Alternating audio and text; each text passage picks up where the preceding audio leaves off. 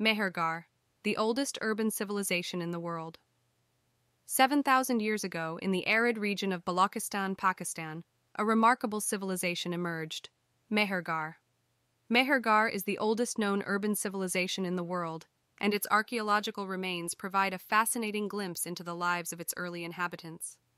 Mehergarh was discovered in 1974 by French archaeologist Jean Francois Jarrige and his team. Since then, extensive excavations have revealed a settlement that was home to thousands of people.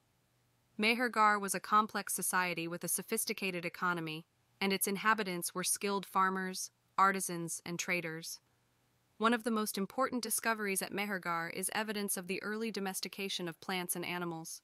Wheat, barley, and lentils were all cultivated at Mehergarh, and sheep, goats, and cattle were raised.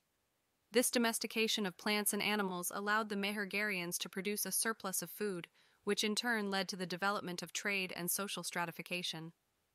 Mehergarh was also a center for craft production. The Mehergharians were skilled potters, weavers, and metalworkers. They produced a wide range of goods, including pottery, textiles, and copper tools and jewelry. Some of these goods were traded with other cultures in South Asia and beyond. Mehergarh was a vibrant and cosmopolitan city. Its inhabitants were in contact with people from all over South Asia and even from the Middle East.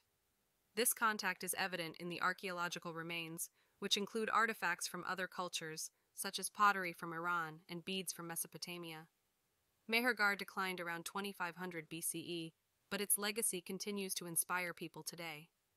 Mehergarh is a reminder that even in the most challenging environments, humans are capable of building complex and sophisticated societies. Here are some of the key features of the Mehergarh civilization. Early domestication of plants and animals. The Mehergharians were one of the first cultures in the world to domesticate plants and animals. This allowed them to produce a surplus of food and develop a more complex economy. Craft production. The Mehergharians were skilled potters, weavers, and metalworkers.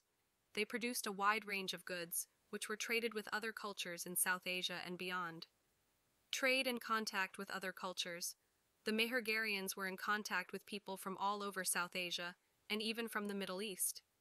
This is evident in the archaeological remains, which include artifacts from other cultures. Social stratification.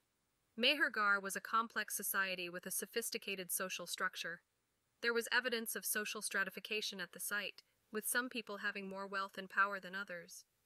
Mehergarh is a significant archaeological site because it provides a glimpse into the lives of early farmers and herders. It also shows how these societies developed into more complex urban civilizations.